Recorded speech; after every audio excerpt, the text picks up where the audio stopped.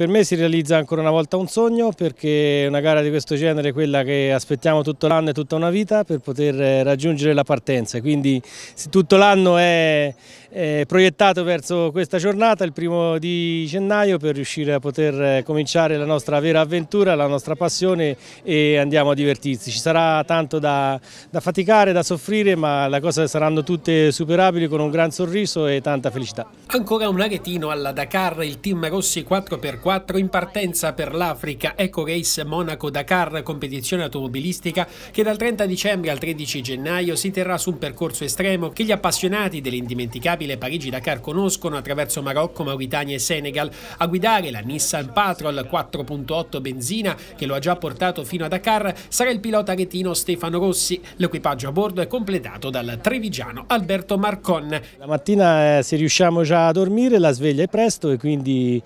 abbiamo il bivacco in cui riusciamo a fare colazione la mattina e poi di buon'ora subito si parte e affrontiamo tutta la giornata. Diciamo che teoricamente entro la sera e speriamo che questo sia veri dobbiamo raggiungere il bivacco della giornata successiva affrontando nel particolare questa manifestazione ha eh, una riduzione forte di quello che sono i trasferimenti perché sono pressoché azzerati, spesso nelle tappe riusciamo a partire ed arrivare dalla speciale arriva proprio vicino al bivacco e quindi è tutta speciale speciali diciamo, è tutto puro divertimento perché eh, fare 400-500 km ogni giornata di speciale è per noi la cosa più bella che il trasferimento si riduce a pochissimi chilometri per andare da un bivacco all'altro e per poi dopo una volta raggiunto il bivacco speriamo presto e sottolineo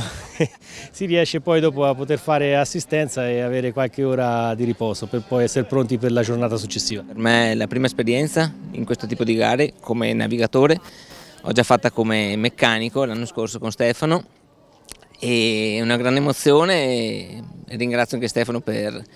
per darmi questa possibilità e siamo qui ad aspettare di partire per, per vedere cosa succede, insomma speriamo di essere preparati al meglio e sarà comunque un'avventura e sarà tutto nuovo e da scoprire. Durante una gara di questo tipo bisogna essere pronti a tutto perché non ci sono problemi che non possono uscire, possono generarsi e,